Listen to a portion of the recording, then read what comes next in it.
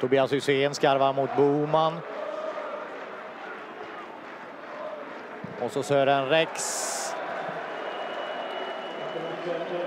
Ja, eh, det var irriterat efter matchen mot Hammarby. När Häcken gjorde 4-0 så började det skanderas från den här sektionen avgå Lennartsson.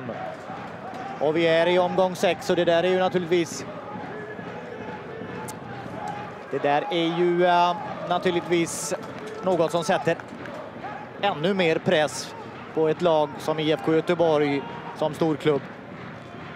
Ja, det är klart. Och den stora rivalen eh, Malmö i maratontabellen också. Det är ju, är ju redan, har dubbelt så många poäng redan.